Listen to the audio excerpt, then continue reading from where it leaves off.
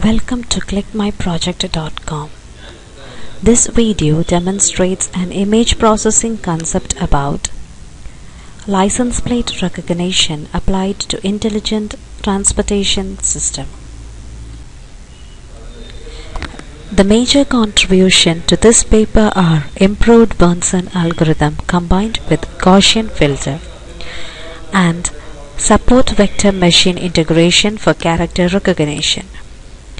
In SVM, character features are extracted.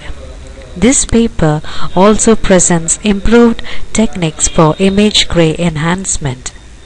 The main modules in this paper are preprocessing, license plate detection, image gray equilibrium, segmentation, and character recognition.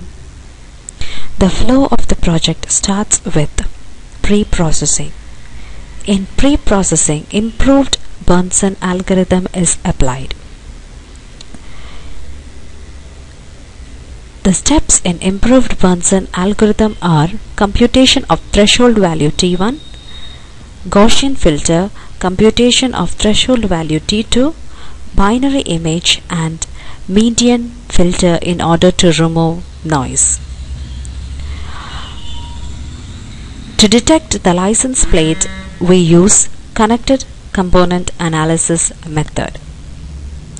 Image gray equilibrium is a necessary step in segmentation stage for a good quality image.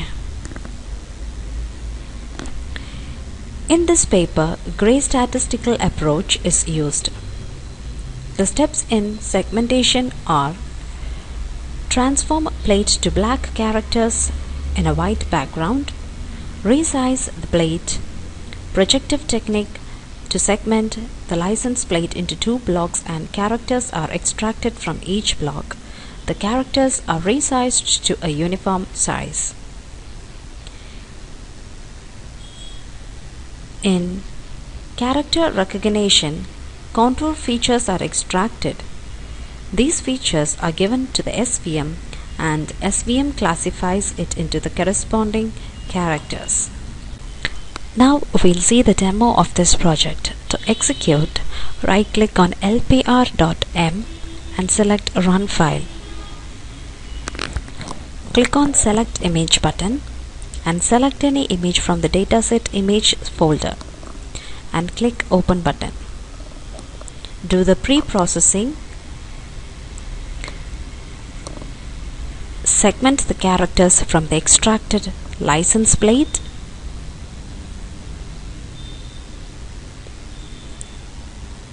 in character recognition the features are extracted.